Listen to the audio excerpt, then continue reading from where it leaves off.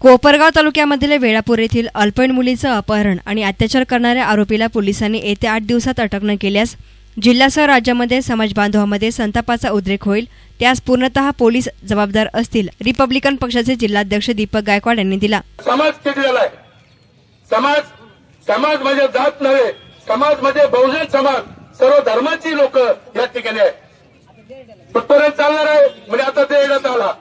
आता ते येण्यातून पुढे पळाला म्हणजे दुसरीकडे पळाला. तो काय वाघ आहे का? आरामखोर चला. नफ्याची पायदास.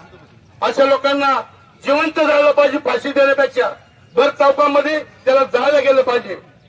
कुठपर्यंत लोक शांत ठेवायची आपण. आपण फुलेशाह आंबेडकरांच्या विचाराचे माणसं आहोत.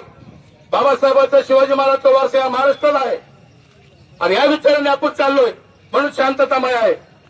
आतापर्यंत काहीच काही घडलं असतं. आप्पा आपण शांत आहे. एका विचाराने चालणारे माणसं आहोत. पण याचा अर्थ असं नाही की या तोंडातून मारल्यानंतर हा घाल पुन्हा करायचा यातले आम्ही नाही. आम्ही शांतला आम्हाला संयम पाळायची आमच्या क्षमता जर संपली तर शासनाला देखील झुकावं लागेल. कोणाचं शासन आम्हाला त्याची गरज नाही. आमच्या या समाजामध्ये जर महिलाला जर संरक्षण मिळत नसेल असे अन्य अत्याचार जर होत असेल तर आम्ही शासनाची वाट पाहणार नाही. मी आवाहन करतो आपल्या सर्वांच्या वतीनं रिपब्लिकन पक्षाच्या वतीने महाराष्ट्रभर आंदोलन छेडणार आहोत.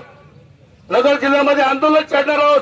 अल्पवयीन मुलीवर अत्याचाराच्या पार्श्वभूमीवर तालुक्यामधील सुरेगाव कोळपेवाडी शहाजहापूर कोळगाव आणि वेळापूर ग्रामस्थांनी गाव आणि परिसरातील दुकानं बंद ठेवत शिर्डी लासलगाव मार्गावर शनी चौकात दोन तास रास्ता रोको आंदोलन केलं. त्याआधी ग्रामस्थांनी गावातून मोर्चा काढत आरोपीच्या निषेधाच्या घोषणा दिल्या. पंचक्रोशीमधील अन्य गावांच्या सर्वधर्मीय नागरिकांनी महामार्गावर रास्ता रोको करून प्रशासनाचे लक्ष वेधले.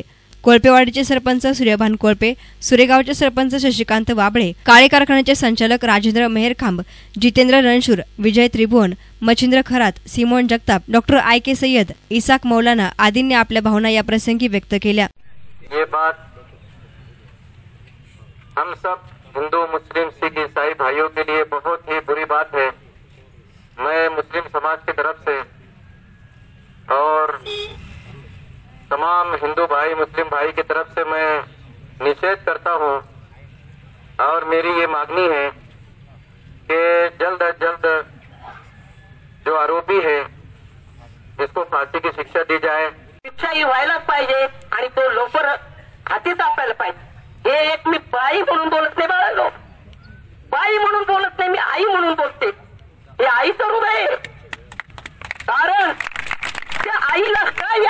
होतात आणि त्या मुलीला काही आत्ता होतात ती याची तुम्ही दखल घ्या. आणि ती दखल घेऊन त्याप्रमाणे शासनाने पावलं उचलावीत हीच मी शासनाला विनंती करते. पडपुरी गावच्या वतीने ग्रामस्थांच्या वतीने मी या ठिकाणी निषेधच करतो. आज या रास्ता रोकोच्या निमित्त आमचं फक्त एवढंच म्हणणं आहे.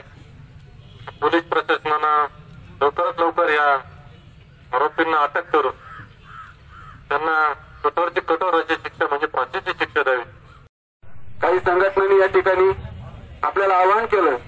दुकानदार तीन चार दिवसापासून बंदच्या तयारीत होते. मात्र थोडीशी वर्दळ राहावी. आरोपी या वर्दळीमध्ये येईल सापडेल ही भोळी आशा आपण केली.